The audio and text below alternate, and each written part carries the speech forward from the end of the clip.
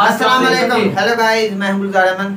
मेरा नाम अब्दुल कादिर। मैं मोहम्मद। आप देख रहे हैं G authentic reaction YouTube channel आपका हमारे चैनल पर स्वागत है। वेलकम नमस्ते। अगर आप देखना चाहते हैं इसी तरह की ऑथेंटिक रिएक्शन वीडियोस आप हमारा चैनल ज़रूर सब्सक्राइब करें लाइक करें शेयर करें यूँ ही अपना प्यार दिखाते रहें। चलो देखते हैं जी मेजर साहब की वीडियो मेजर मेजर गौरव वारिया। तो आरज़ू कादमी के साथ कन्वर्सेशन है। उसके साथ देखते हैं वीडियो उसके बाद देते हैं अपना रिएक्शन लाइक करिए सब्सक्राइब करिए बेल आइकन दबाना बिल्कुल मत भूलिए। लेकिन मेजर साहब देखे ना एक चीज़ जो है आ, वो वो तो साफ़ है कि ज़ाहिर है फ्लड तो खुद ही हुआ है चाहे क्लाइमेट चेंज कह लें या कुछ भी कह लें वो तो भारत ने नहीं किया। लेकिन अगर बाकी चीज़ों में भारत पाकिस्तान को एफएटीएफ में फंसा के रखेगा या कोई और तरह के नुकसान पहुंचाएगा तो आपका ख्याल है कि आ, पाकिस्तान कोई रिएक्ट नहीं कर सकता पाकिस्तान कोई नुकसान नहीं पहुँचा सकता या जवाब नहीं दे सकता ऐसा तो नहीं है। अगर आप बार बार नुकसान पहुंचाएँगे पाकिस्तान को तो जवाब तो आएगा ना। आप ये क्यों सोचेंगे कि आप इधर से आप कुछ भी करते रहें और पाकिस्तान में बैठ के देखा जाएगा? आरज़ू जी, पाकिस्तान जवाब नहीं देगा, क्योंकि सवाल पाकिस्तान ने पूछा था। 26 ग्यारह पाकिस्तान ने करा था। पार्लियामेंट अटैक पाकिस्तान ने करा था। अक्षरधाम मंदिर पर पाकिस्तान ने अटैक करा था। 1993 बॉम्ब ब्लास्ट जो दाऊद इब्राहिम ने करे थे, वो पाकिस्तान ने करवाए थे। कश्मीर में 42,000 people have died Indians have lost their lives वो पाकिस्तान ने करवाया था। पंजाब में जो खालिस्तानी टेररिज्म थी वो पाकिस्तान ने करे। ये तो जवाब आ रहा है उसका। तो जवाब का जवाब थोड़ा ना होता है। आप लोगों ने सवाल पूछा यहाँ से। जवाब इस देखिए ना। इट इज़ ऑल फेयर इसमें देखिए हम Pakistan can throw a punch Pakistan cannot take a punch Pakistan चाहता है कि बैटिंग सिर्फ़ वो करे। दूसरा बंदा बैटिंग ना करे। ये तो गलत है ना आरज़ू जी। ये क्रिकेट का गेम है। ज़िंदगी क्रिकेट का गेम है आरज़ू जी। कुछ समय तक आप लोगों ने बैटिंग करी अब हम लोग बैटिंग कर रहे हैं तो इसमें गिला शिकवा कैसी? कोई बात नहीं दूसरी साइड बैटिंग करेगी फिर आप करिएगा। हम लेकिन ये मैच कहीं खत्म भी होगा या ये ऐसे ही चलता रहेगा कि कभी हम आपका नुकसान कर रहे हैं और कभी आप हमारा नुकसान करें कहीं जाके ये चीज़ खत्म हो सकती है? पाकिस्तान हमारा नुकसान कर ही नहीं सकता क्योंकि जितना पाकिस्तान को करना था पाकिस्तान ने कर लिया। अब पाकिस्तान नहीं करेगा। अब पाकिस्तान 26 ग्यारह नहीं करेगा। अब पाकिस्तान देखिए पाकिस्तान ज़्यादा से ज़्यादा क्या करेगा? पाकिस्तान क्या बोलेगा? एफएटीएफ को कि इंडिया को एफएटीएफ में डाल दो। ये बोलेगा पाकिस्तान कि इंडिया को लोन मत दो ये बोलेगा। क्या कर सकता है? ज़्यादा ज़्यादा आप टेररिस्ट भेज देंगे अंदर। वो तो आज भी भेज रहे हैं। ऐसा करेगा क्या पाकिस्तान? कुछ नहीं कर सकता। पाकिस्तान ने जो करना था पाकिस्तान कर चुका है। पाकिस्तान के जो पत्ते थे हम लोग कार्ड्स में कहते हैं ना सारे पत्ते अब पाकिस्तान ने हम्म। फेंक दिए। पाकिस्तान ने जो बुरा से बुरा करना था जी वो कर दिया। जो बुरा से बुरा करना था कर दिया। अब इंडिया अपना बुरा से बुरा कर ये जो आपको ये आ रहा है ना ये रिटर्न फायर आ रहा है भारत से। और भारत से रिटर्न फायर ऐसा नहीं हमें कोई लेना देना नहीं कि बलोचों को हथियार पहुँचाने से कुछ नहीं होगा। आपका खुद ही मामला चल रहा है। हमारी डिप्लोमेसी इतनी स्ट्रांग है कि हमें ये सब बलोचिस्तान में कुछ करने की ज़रूरत नहीं है। जयशंकर साहब अकेले काफ़ी हैं। हमें कोई किसी को ये करना है ये कर, जयशंकर साहब अकेले काफ़ी हैं। Doctor Jaishankar is sorting out everything nice and proper सब कुछ चल रहा है। आप देखिएगा धीरे धीरे हमें क्या करना है? देखिए, मैं आपको छोटी सी और चीज़ बताता हूँ। ऐसा नहीं कि ऐसा हुआ है। ये मेरा एनालिसिस है खुद का। आप आईएमएफ से पैसा मांगेंगे ठीक है? इंडिया आईएमएफ से ये बोल देगा कि ठीक है आप दे दीजिएगा एक महीने बाद दे दीजिए। मना मत करिए पाकिस्तान को अगर आपको देना ही है। तीन हफ़्ते बाद दे दीजिए। उस तीन हफ़्ते में पाकिस्तान का कितना डैमेज हो रहा है? बस। अगली बार आपने सऊदी अरेबिया से पैसे मांगे इंडिया बोलेगा दे दीजिए दो हफ़्ते बाद दे दीजिएगा। दैट्स इट तो अभी तो कोई भी आ रहा है इन्वेस्टमेंट के लिए ये भी कहा जा रहा है।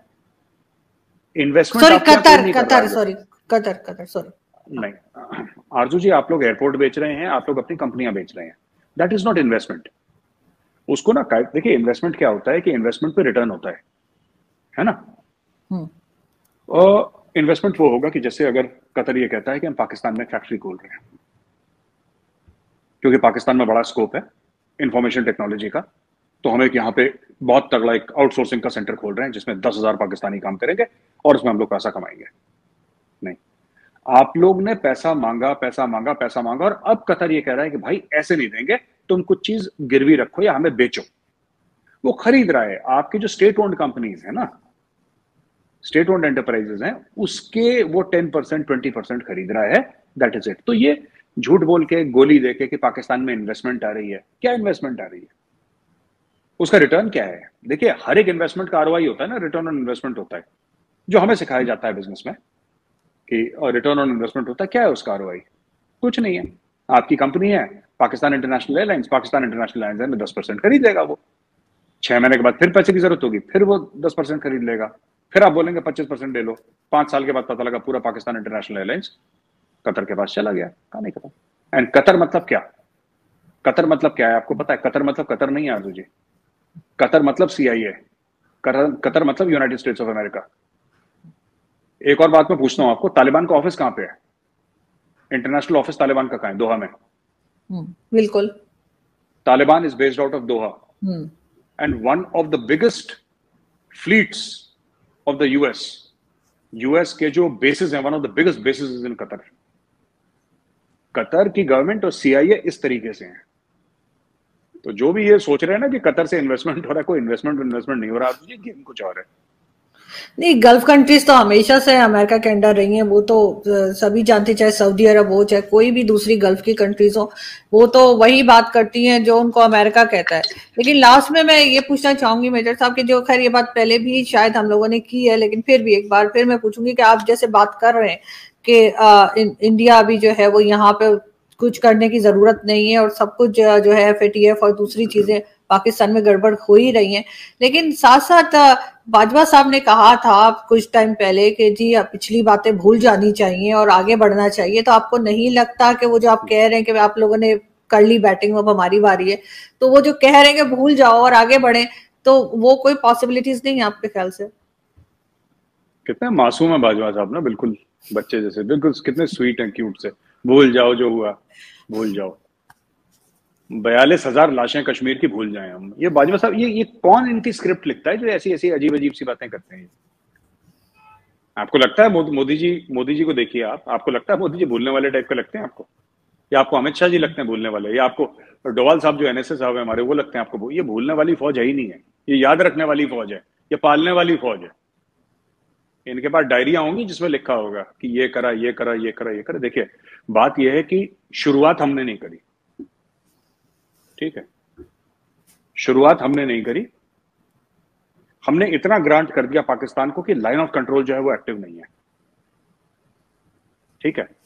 क्योंकि हमें पता था अमेरिकन बीच में पड़े होंगे मेरे हिसाब से। और बोला होगा, नहीं, आप थोड़ा सा यहाँ बिकॉज़ ये तभी हुआ था जब एग्जिट हुआ था। एग्जिट से पहले की बात है ये। लाइन ऑफ़ कंट्रोल शांत हो गया। अचानक एक दिन डीजीएमओ की बात हुई कि हम फायरिंग नहीं करेंगे। इंडिया में डीजीएमओ थोड़ा ना डिसीज़न लेता है, पाकिस्तान में लेता है डीजीएमओ डिसीज़न इंडिया में तो तो prime minister of the country the cabinet takes the decision तो यानी कि कैबिनेट की रजामंदी थी इसमें प्राइम मिनिस्टर मोदी की रजामंदी थी। इसका मतलब कि हमारी कुछ बातचीत हुई है वर्ल्ड पावर्स से। जो बोला है कि ठीक है, अफ़गानिस्तान में सिचुएशन है, हम पाकिस्तान को ब्रीदिंग स्पेस एक बात हुई इंडिया ने उसको ऑनर करा, पाकिस्तान ने भी ऑनर करा, ठीक है? ये बात तो तैयार सोचिए लेकिन फैक्ट ऑफ़ द आप एक बात समझिएगा ना, ये कब तक चल जाएगा ये? ये कब तक चलेगा? एक लेवल तक होता है ना। Promise are not to be kept forever and ever we will we have also given an assurance कि भाई देखो, हमारे ऊपर बात ना है तब तक हम करेंगे। तो ठीक, मैं आपको मैं आपको बता रहा हूँ अर्जु जी, ये इसका जिसको कहते हैं ना लबो लबाब उसका यही है। ये गिलानी के लिए दिल में दर्द बुरहान वानी के लिए दिल में दर्द, मीरवाइज के लिए दिल में दर्द, कश्मीर के लिए दिल में दर्द, ये पाकिस्तान का दर्द बन के रह गया है ये। आपके साथ जो भी हो रहा है ये दर्द तब तक चलता रहेगा जब तक पाकिस्तानी ये ना बोलें कि साहब क्या कश्मीर हमें तो कश्मीर की स्पेलिंग नहीं आती। ये दर्द चलता रहेगा। और देखते हैं क्योंकि हमें कुछ नहीं करना है इसमें आँसू जी ट्रस्ट हम कुछ गलत थोड़ा ना कर रहे हैं। हम बाढ़ हम तो नहीं लाए। नहीं आप ठीक कह रहे हैं बाढ़ आप नहीं लाए लेकिन ये कि ज़ाहिर है पाकिस्तान भी जो है वो सेवेंटी फाइव ईयर से जो बात करता चला आ रहा है वो उससे हटना उसके लिए भी एक मुश्किल काम है। और मेरे ख्याल है इसके लिए बातचीत के ज़रिए ही किया जा सकता है और इसका कोई ना कोई हल होना चाहिए। ताकि ये ये सारे तमाशे जो आम पब्लिक झेल रही है वो खत्म हो। जी बिल्कुल। होना चाहिए आपके ख्याल से बातचीत होनी चाहिए टेबल पे बैठना चाहिए क्योंकि अभी तो दोनों तरफ़ हाई कमिश्नर्स भी नहीं है। ना इंडिया में है ना पाकिस्तान में है। आरज़ू जी बात करने का कोई फ़ायदा है ही नहीं मैं बता रहा हूँ आपको। मैं आपको बता रहा हूँ ये सब देखिए बात यह है कि आप और हम बैठ के ना हम सांत्वना देते हैं एक दूसरे को। हम हम ऐसे कहते हैं नहीं नहीं कोई बात नहीं कोई बात तो बातें होनी चाहिए। क्या बात करें? अगर बात भी हो गई ना उससे कोई फ़ायदा नहीं है। मैं आपको बता रहा हूँ इंडिया की पोजीशन बड़ी क्लियर है। ठीक है? और इंडिया की पोजीशन साफ़ हो चुकी है। India is not interested it is not interested in talking Bajwa साहब कुछ चाहें जो चाहें। अगर बात भी होगी उसका नतीजा कुछ नहीं निकलेगा। अगर बहुत आपने इंडिया को बोल दिया कि नहीं बात करो बात करो बात करो सारे वर्ल्ड पास पीछे पड़ गए इंडिया ने बोला ठीक है मीटिंग करवा लेते हैं कॉन्फ्रेंस कर लेते हैं क्या दिक्कत है? आइए स्वागत है आपका। इंडिया में आ जाएँगे लोग बातचीत हो जाएगी हाथ मिलेगा कैमरा ग्राउंड पर रियलिटी चेंज नहीं होगी। और बिल्कुल ठीक इंडिया इंडिया प्रेशर डालती रहेगी पाकिस्तान पर डालती रहेगी जब तक वो प्रेशर अनबेरेबल नहीं हो जाता। और वो प्रेशर मैं बता रहा हूँ दो तीन साल में अनबेरेबल हो जाएगा। 2024 के पहले अनबेरेबल हो जाएगा। मैं आपको आज आपकी शो में बता रहा हूँ और इस चीज़, इस क्लिप को ना आप निकाल के आप रखिएगा अपने पास और मेरी बात याद रखिएगा। 2024 के पहले ये प्रेशर पाकिस्तान के लिए अनबेरेबल हो जाएगा। And now they will have to take a public decision सबको एक बार आएगा प्राइम मिनिस्टर या आर्मी चीफ नेशन को एड्रेस करते हुए कि मेरे अज़ीज़ हमवतनों कश्मीर एक बुरा सपना था, इसको भूल जाओ। जब तक ये प्रॉब्लम चलती रहेगी, मैं बता रहा हूँ आपको, ये प्रॉब्लम कभी ना खत्म होने वाली प्रॉब्लम है नहीं आई विश कि ऐसा ना हो कि कश्मीर को पाकिस्तान भूल जाए। मेरे मुझे नहीं लगता ऐसा क्योंकि जो, हम सुनते चले आ रहे हैं हमेशा से उस पे एकदम से बदलने का इन, इनका कोई इरादा मुझे लगता नहीं। लेकिन बहरहाल जो भी हो अच्छे के लिए हो और स्पेशली कश्मीर के लोगों के लिए हो जो वहाँ पे रहते हैं और जो यहाँ पे कश्मीर में रहते हैं उनकी मर्ज़ी के हिसाब से हो और अमन रहे। किसी किस्म की मजीद गड़बड़ ना हो। बहुत शुक्रिया सर आज आपने ज्वाइन किया। Thank you so thank you for watching please don't forget to like, share, and subscribe. भाई वो भाई जो मेजर साहब ने आखिर में बात की है मेजर ने तो काफ़ी सवाल उठाए हैं। भाई 2024 बड़ा दावा भी कर दिया है कर- 2024 की कर। तो मेजर साहब पैसा भी पहले भी इसने बहुत बड़े दावे किए हैं मेजर साहब ने और इनके झूठे साबित हुए हैं। वो जो अफ़गानिस्तान के अंदर थे ना मैं जनरल फैज मिल गए थे, थे मेजर साहब ने बहुत दावे किए थे ये होगा वो होगा हम मदद करेंगे हम हमारे आर्मी भेजेंगे हम पैसा देंगे। यहाँ से ये कुछ होगा लेकिन ऐसा कुछ भी नहीं हुआ जो मेजर साहब बता रहे थे। तो ये बात वो बातें तो सब झूठ हुई है मेजर साहब में की। मैं कहता हूँ मेजर फैज अफ़गानिस्तान में लेने क्या गए थे? और वो मैं एक बात क्यों गए थे लेने? क्या क्या करने गए थे मेजर साहब?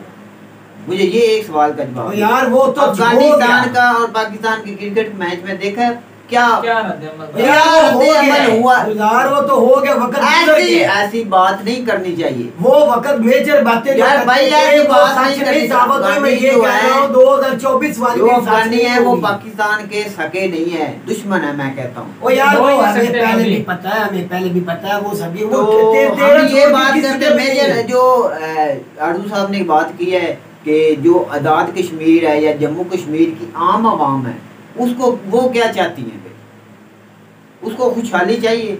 तो वो ये नहीं कि टेररिस्ट या हम पर सारी उम्र हमले ही होते रहे। कभी कोई हमला नहीं हो रहा मौजूदा दो तीन सालों में कोई जम्मू कश्मीर के अंदर मुझे हमला दिखा दे। कुछ हुआ? करीब आज़ाद कश्मीर में कुछ हुआ? भाई उधर हर वक्त फौजी तैनात कुछ भी। नहीं हुआ भाई मैं तो कहता हूँ सारे जो जम्मू कश्मीर है जो आज़ाद कश्मीर है वो दोनों ही ना। अवाम उसकी फंसी हुई है जब तक उसकी जान पता नहीं जान छूट छूटेगी इस हालात से। कोई फंसी नहीं भाई अब अब वो आज़ाद है जो जम्मू कश्मीर इंडिया के अंदर है, उन्हें हर तरह की आज़ादी मिली हुई है हर तरह की भाई आज़ादी मिली होती आज़ादी मिली होती तो ऐसे हालात ना होते। क्या हालात तो क्या हुआ है? पाकिस्तान और इंडिया एक अच्छे दोस्त होते और अच्छे ताल्लुक यार तुझे पता नहीं तू या तो बात को समझना नहीं चाहता या इधर बोलना नहीं चाहता। मैं तुझे बार बार बोल रहा हूँ, जम्मू, कश्मीर, जो इंडिया के अंदर है, वो बिल्कुल आज़ाद है, उनको दुनिया की हर तरह की सहूलत मिल रही है। उधर दुनिया में दुनिया की बड़ी बड़ी कंपनी इन्वेस्ट करने आ रही हैं, दुबई जैसी आ रही हैं, कतर जैसी, सऊदी अरब जैसी आ रही हैं। आज़ाद कश्मीर हमारा आज़ाद है उसे दुनिया की हर सहूलत मिल मेजर रही है। साहब 2024 तक ये क्या बात कर चुके हैं यार वो बात कर रहे हैं जम्मू कहिए कोई कश्मीर की बात जो है ना वो इस तरह की जो कहते हैं वो पाकिस्तान ने जो करना था वो कर लिया। पाकिस्तान ने जो दहशत फैलानी थी इंडिया में वो फैला चुके हैं। जो वक्त गुजर गया है अब जो हो रहा है वो इंडिया के इंडिया रहा है पाकिस्तान के अंदर। ये सॉरी हर मसले का जो हल बलोचिस्तान के अंदर जो कुछ तो हो रहा है। सुने हर मसले का जो हल है ना वो बातचीत होती है। तो इंडिया तो बातचीत बैठ कर पाकिस्तान से करने नहीं चाहते। तो ना करे। सबसे इंतज़ार आपस में मेरा भाई नहीं करना तो। चाहिए। इसी से तो दोनों ममालिक से दरमियान दुनिया बढ़ती जाएँगी। कोई कशीदगी है ही नहीं यार। जो पाक इंडिया करता है आईएमएफ से या ग्रे लिस्ट में पाकिस्तान को रखने के एफडीए ग्रे लिस्ट में। तो वो आरज़ू काजमी ये बात कर रही थी कि इंडिया को ये कदम नहीं उठाना चाहिए। जो पाकिस्तान मुखालफत करता है वर्ल्ड के जो फोरम में इंडिया को सपोर्ट नहीं करता। मैं कहता हूँ इंडिया को पाकिस्तान की सपोर्ट करनी चाहिए और पाकिस्तान को इंडिया की सपोर्ट करनी चाहिए। ये इतना आसान नहीं जितना तू बोल रहा है ये इतना आसान नहीं। भाई दोनों की आवाम खुशहाल होनी चाहिए हम तो ये भाई करते ये जो सियासतदान है दोनों तरफ़ के ये इतनी आसानी से ये होने नहीं देंगे। ये तो बात है भाई ये अवाम ना इंडिया चाहती लड़ाई अवाम इंडिया के अवाम भी कभी लड़ाई नहीं चाहती। ना ही पाकिस्तान के अवाम कभी लड़ाई चाहती है। इन पाकिस्तान और इंडिया के जो सियासतदान है ना भाई इनकी ये दिल की खुन्नस है अवाम की नहीं आपस में दोनों सियासतदान दूसरी बात रह गई आईएमएफ की जो है हाँ उसके अंदर जब तक चाइना पाकिस्तान के साथ रहेगा ना पाकिस्तान ग्रे लिस्ट में नहीं जाएगा। ब्लैक लिस्ट में में, grey ब्लैक लिस्ट में पाकिस्तान कभी नहीं जाएगा ग्रे लिस्ट निकल जाएगा। ये सबसे बड़ी बात है चाइना। जब तक चाइना साथ देगा हम ब्लैक लिस्ट में नहीं जाएँगे। इंडिया चाहे जितना मर्ज़ी ज़ोर तो लगाए चाइना- ना तुम्हारे क्या टीम support आ रही है। करेगा? अक्टूबर में हमारा सर्वे भाई तुझे आज स्पोर्ट का पता ही। नहीं लिस्ट चला पता नहीं पागलों जैसी बात करता है। अगर चाइना इस बार तेरी चाइना हमारा नहीं है भाई सगा नहीं है और यार पता नहीं तू समझना क्यों नहीं चाहता? मैं कहता हूँ चाइना इस बार ऐलान कर देना। भाई हम ग्रे ले जो है ना ब्लैक ग्रे तो अपने बलबूते पर होना किसी के आसरा नहीं होना चाहिए पाकिस्तान को। चाइना आप कह रहे हैं तू क्यों नहीं समझना चाहता ग्रेट मैं ये बात करता हूँ आप नहीं इंडिया- खड़ा हो सकता। इंडिया के साथ हमारे अच्छे ओ हो यार नहीं हो वो सकते। मुखालफत ही नहीं हो सकते नहीं हो सकते नहीं हो सकते नहीं हो सकते जब तक सियासतदान नहीं चाहेंगे। जब तक सियासतदान नहीं चाहेंगे तो अच्छे दरकार तरह तू भी नहीं हमारा कर सकता लगा लगा रहेगा रहेगा क्योंकि अब तो मेरा भाई अवाम तो चाहती नहीं अवाम तो चाहती नहीं इंडिया की और पाकिस्तान की। हुक्मरान या फौजी हैं सुन ले। वो मसला ये खत्म नहीं करेंगे उनकी खत्म हो जाएगी। वो उसकी सारा रोल ही फौज का खत्म हो जाएगा ये दोनों ममालिक में दरमियान अमन आ जाए जाएगा मेरा भाई जाए। कभी भी नहीं जाएगी। दोनों तरफ़ जाग लगी है कभी नहीं जाएगी। रिएक्शन अच्छा लगेगा। भाई जी अच्छा पाकिस्तान की तो हमारा कभी भी इंडिया के खिलाफ नहीं जाएगी इंडिया के खिलाफ पाकिस्तान के खिलाफ नहीं। जाएगी। अल्लाह हाफिज।